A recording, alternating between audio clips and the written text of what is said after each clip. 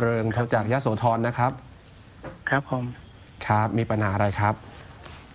คือผมอยากถามเกี่ยวกับที่ดินนะครับ ถามเลยครับถามเลยครับถามผมว่า ถามว่าคือมันมีเรื่องว่าอย่างนี้นะครับ แม่แม่เขาขายที่ดินให้กับพี่สาวนะครับ พี่สาวของแม่คือป้านะครับ อืม ประมาณปีห้าศูนย์แล้วล่ะครับ ก็ได้ประมาณสักสิบกว่าปีแล้ว แล้วโอทีเคนี้เอาเอาปัญหาเลยคุณสำเริงปัญหาคืออะไร เอาปัญหาเลย ปัญหาคือ พี่สาวกับพี่ชายของผมนะเขารับปากกับแม่ว่าจะแบ่งแบ่งที่ดินทั้งบ้านและก็ทั้งที่นาเท่าๆกัน แต่พี่สาวกับพี่ชายผมเขากลับใจเขาไม่เขาไม่รับปากแม่ และเขาก็จะไม่แบ่งอะไรให้ผมเลย ประมาณเนี้ยครับ เดี๋ยวแล้วนะผมอยากถามว่า เดี๋ยวผมถามผมก่อนอยาก ผมถามก่อนผมถามอยากก่อนมีครับ สิทธิ์ในที่ดินพื้นนั้น ผมมีโอกาสได้ไหม โอเค เดี๋ยวผมถามก่อน แม่ยังอยู่ไหมอะ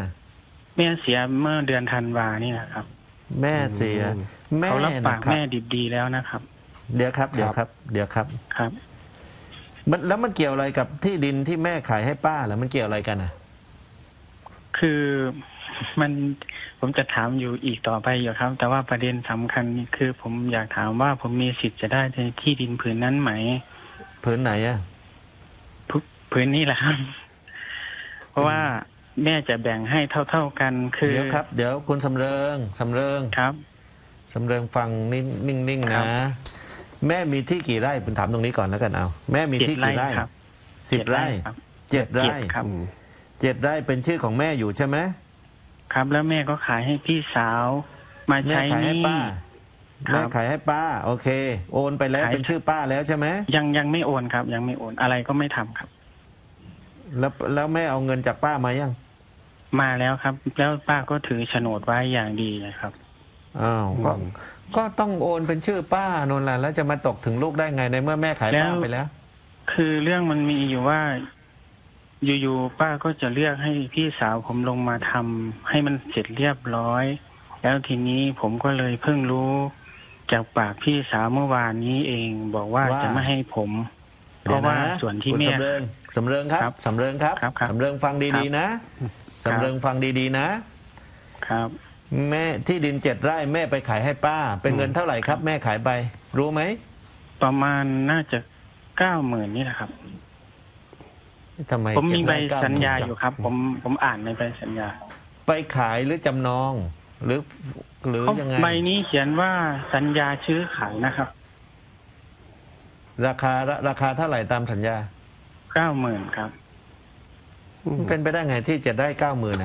มากเลย ก็ผมก็ไม่รู้เหมือนกันครับมตอนนั้นเขาขายกันยังไง ผมไม่ทราบเหมือนกันครับ เออแล้วที่มีโฉนดเป็นโฉนดไหม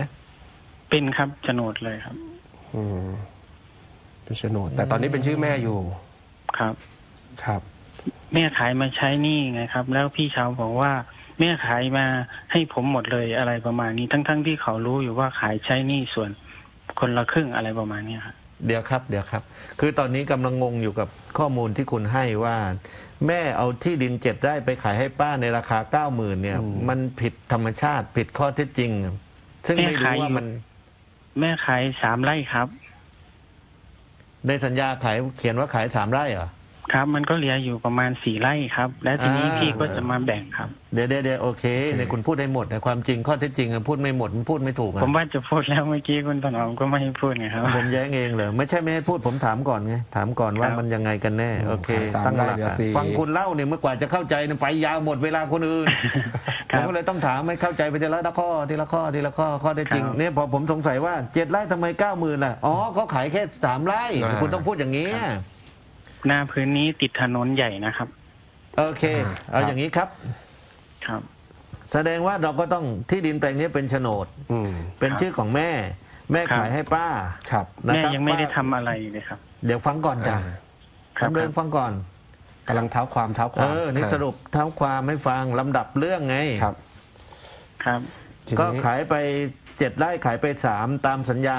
นะครับครับ เพราะฉะนั้นเพราะฉะนั้นเมื่อแม่ตายไปเนี่ยที่ดินแปลงนี้ กลายเป็นมรดกอืมครับเมื่อเป็นมรดกสำเริง แม่มีลูกกี่คนสามครับสามคน คุณสำเริงกับลูกเนี่ยลูกสับลูกลูกแม่ทุกคน พ่อยังอยู่ไหมพ่อแยกทางกันตั้งนานแล้วครับ แล้วจดทะเบียนสมรสกับแม่ไหมไม่ไม่ไม่จดครับ โอเคอันก็ก็ถือว่าทรัพย์สินนี้เป็นของแม่คนเดียวแล้วก็ครับมีลูกสามคน ลูกครับ สามคนเนี่ยไปร้องจัดตั้งผู้จัดการมรดกนะครับคุณจดคุณเตรียมจดเบอร์โทรศัพท์เลย ครับปากกากระดาษให้พร้อมแล้วฟังต่อ ครับไปร้องตั้งผู้จัดการมรดก คุณจะเป็นเองหรือพี่สาวจะเป็นหรือเป็นมันให้หมดทั้งสามคนนี้ก็ได้ เป็นผู้จัดการ อ๋อครับแล้วก็มาแบ่งที่กัน ก่อนครับแบ่งก็คือว่าต้องผู้จัดการมรดกเนี่ยทำหน้าที่ในการโอนที่สามไร่ให้ป้าเขาไปก่อนอืมครับนะตามสัญญาซื้อขายต้องโอนให้ป้าพอครับโอนให้ป้าเสร็จแป๊บก็เหลือสี่ไร่สี่ไร่ครับก็มาแบ่งกับพี่น้องสามคน คนละไร่เศษเศษๆนี่แหละครับ พี่สาวเอาคนเดียวไม่ได้ ป้าไม่มีสิทธิ์อืมป้ามีสิทธิ์ตามสัญญาซื้อขายแค่สามสามไร่ไร่ส่วนเราที่ไม่ขาโอยนให้ป้าก็ฮะส่วนที่ขายแล้วแม่ขายใช้หนี่เหรอครับ เขาบอกว่าจะไม่ให้ผม ก็ไม่ ไอ้ก็คุณบอกเองว่าขายแค่สามไร่ไม่ใช่เหรอครับนั่นแหละ พี่สาวบอกบอกว่าส่วนนี้ขายใช้หนี่ให้ผม หรือว่าขายให้ผมอะไรประมาณนี้เขาก็เลยบอกว่าจะไม่ให้ผมอีก ผมมีสิทธิ์ตรงนั้นไหมประาณไม่นี้เกี่ยวไม่เกี่ยวไม่เกี่ยวไม่เกี่ยวไม่เกี่ยว ไม่เกี่ยวนะ ถ้าไม่มีพินัยกรรมไม่มีอะไรเนี่ยไม่ไม่เกี่ยวกันไม่เกี่ยวเลย นะคุณยังมีสิทธิ์ยังขอมีงคุณอยู่สิทธิ์ใช่ไหมในครับ ฐานะทายาทคนหนึ่งใช่ครับ ครับ อ๋อยังมีสิทธิ์ถามอีกในข้อฐานะนะครับทายาทคนหนึ่ง แต่ถ้าเดี๋ยวฟังก่อนนะคุณสำเริงครับ อืม คำสั่งเสียที่แม่พูดเอาไว้ก่อนตาย ครับ หรือแม่ทำอะไรให้กับคุณ ถ้าคุณได้ในส่วนนั้นไปแล้ว คุณก็ไม่ควรจะไปแย่งโอกาสพี่น้องคนอื่นเขาคือเอาหยุดหยุดแม่เดี๋ยวหยุดขายหยุด คุณคุณฟังผมนะ ผมฟังครับคุณฟังผมนะ ผมไม่เอารายละเอียดของคุณนะแต่คุณต้องกลับไปคิดเอาว่าอืมถ้าข้อเท็จจริงก็คือว่าแม่ได้ให้เงินคุณไปบางส่วนแล้ว จะด้วยเหตุผลใดก็ตามใช่ใช่นะใช่ครับครับ ถ้าได้ไปบางอ่าถ้าได้ไปบางส่วนแล้ว แต่คุณก็ยังไม่ยังมีสิทธิ์อยู่ในที่ดินสี่ไร่ที่เหลือนี้ส่วนหนึ่งถูกไหมครับครับครับอ่าคุณนั้นมีสิทธิ์แน่อืมๆแต่ว่าก่อนแม่ตายเนี่ยคุณได้ให้ แม่ได้ให้คุณไปแล้ว ในขณะที่พี่น้องอื่นไม่ได้ ครับ อันเนี้ยใจเรามันต้องกว้างใช่กับพี่น้องเด้ใช่แต่เขารวยถ้หมดแล้วนะครับผมผมไม่มีอะไรเลยนะครับ อะไรนะ พี่น้องผมรวยหมดเลยนะครับ ผมไม่มีอะไรเลยนะครับ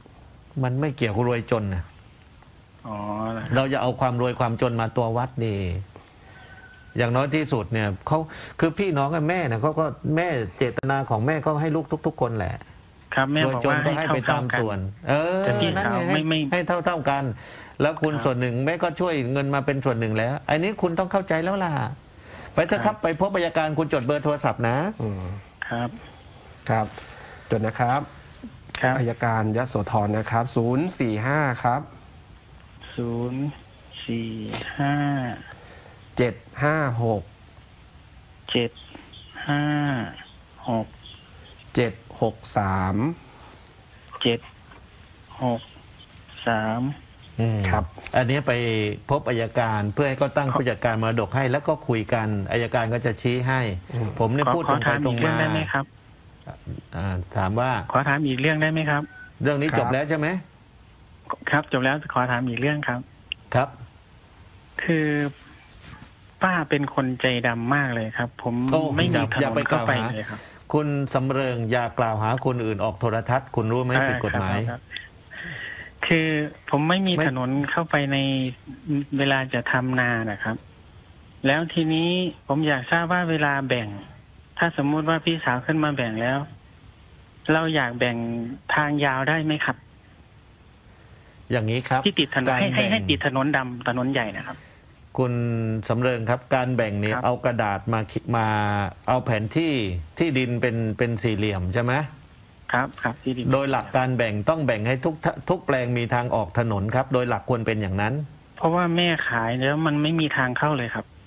อ่าถ้าไม่มีทางเข้าเนี่ยขายเพราะกลายเป็นที่ของป้าอยู่ข้างหน้าถนนใช่ไหมขวางอยู่คใช่รับไหม ครับใช่ใช่ใช่ครับ โอเค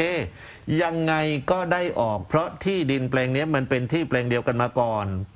ต่อให้แบ่งขายไปใครก็ตาม